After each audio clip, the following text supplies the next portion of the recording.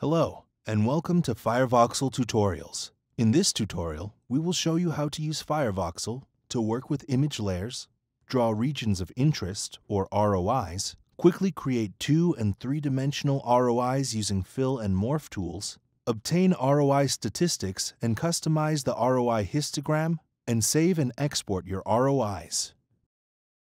First, let's see how FireVoxel works with layers. FireVoxel documents consist of layers, three or four-dimensional images overlaid on top of each other. Let's load a set of DICOM images. This is a three-dimensional, contrast-enhanced MR image of the abdomen acquired during the so-called arterial phase at the maximum enhancement of the blood signal. Let's save this image as a FireVoxel document. You can view and manipulate the layers in your document using the Layer Control panel. To open it, double left-click anywhere on the image. Currently, we have only one layer with our images. By default, this layer is named the same way as the DICOM files that we have just loaded. The red box around the layer indicates that it is currently the active layer, on which all operations will be performed. The checkbox in front of the layer name turns on and off the visibility of this layer. The small square next to it shows that currently the layer contains grayscale images. If we display our image as a color map, this swatch will show the current color map. The column labeled with a percent sign shows the layer opacity. Right now, this layer is 100% opaque we can change the opacity by using the slider below labeled alpha. If we move this slider to the left, our image will become more transparent. Now let's create a layer. On the Layer Control panel, click New ROI 3D. And we see that a new layer has been created, and it is now the active layer. This new layer is placed on top of the base image, so it is the closest to us. The color of this ROI is red. If we want to change the color, we can click View Filter and select another color. Let's rename this layer by double-clicking on its name and typing in a new name. Let's name it Right Kidney. Now we are ready to draw an ROI. This will be a three-dimensional raster ROI, an image that consists of voxels or three-dimensional pixels. Let's zoom in on the right kidney using Zoom by Window. We will be using the paintbrush tools to draw and edit this ROI. These tools use a combination of the Control key on your keyboard and the left and right mouse buttons. To draw an ROI, hold down the Control key, point your cursor to the area where you want to draw your ROI, and press down the left mouse button. Your cursor will become a green circle. The diameter of this circle is the size of your paintbrush. Move the mouse to paint the voxels with the ROI color. Let's draw a contour going inside and around the kidney. When you are done, release the mouse button. To erase the voxels from your ROI, hold down the Control key and press the right mouse button the cursor will become a red circle. Now, drag the mouse to erase the voxels that you want to remove from your ROI. And then release the mouse button and the Control key.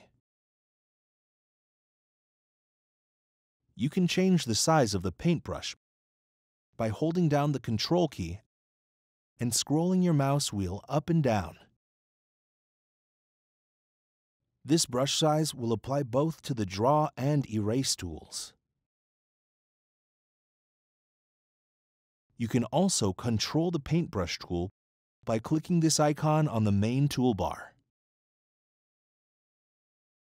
Note that the smallest brush size is 0 for single voxel painting. We have drawn a contour around the right kidney. We can fill the area inside this contour manually using the paintbrush tool, but we can also quickly fill it using a shortcut. To fill the area inside a closed contour, select ROI, Fill 2D Contours on the main menu, or simply press F7 on your keyboard. And now we have a two-dimensional kidney ROI drawn on one slice. We can also use the Morph and Fill tools to draw the ROI in three dimensions on all slices through the right kidney. To do this, we first need to draw the kidney contours on every few slices. Let's fast forward. We have drawn the kidney contours on about a quarter of all right kidney slices. All of these contours belong to the same ROI layer. Let's open the Layer Control panel and increase the opacity of the ROI layer so that we can better see our ROI. Now we are ready to extend the ROI over the entire right kidney in three dimensions. On the main menu, select ROI, Morph, Fill 2D Contours, and Morph Convex. And now the entire right kidney has been segmented and included into the ROI. Let's reduce the layer opacity and go back to the slice view. Now, let's examine this ROI in other views using the Display Orthogonal Projections tool. And now we have our right kidney ROI in the axial, coronal, and sagittal planes. We can view and edit this ROI in each plane.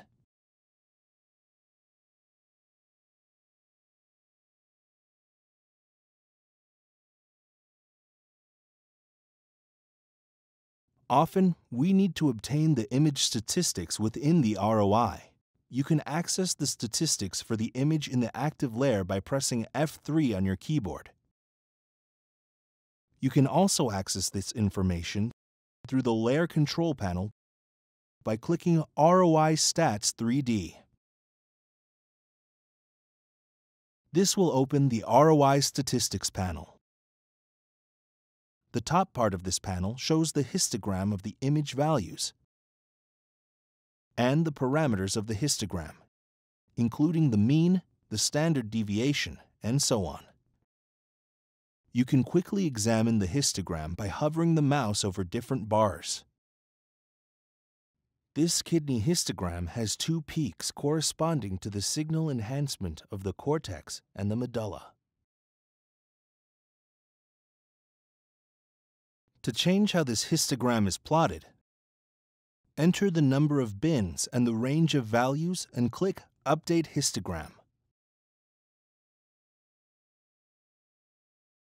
Next, the panel shows the ROI size in voxels and its volume in cubic centimeters. To save the ROI statistics as a text file,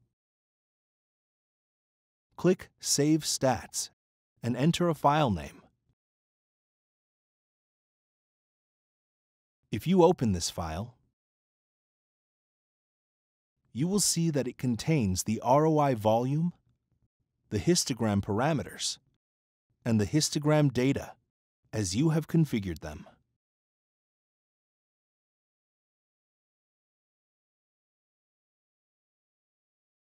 Now, let's save this ROI. The easiest way is to save the ROI within the same FireVoxel document as the base image. Now we can close this document. And if we reopen it, we can see that the ROI has been saved along with the original images. We can also export the ROI as a file. For example, for use in other applications. Click Save Image on the Layer Control panel and pick an appropriate file format.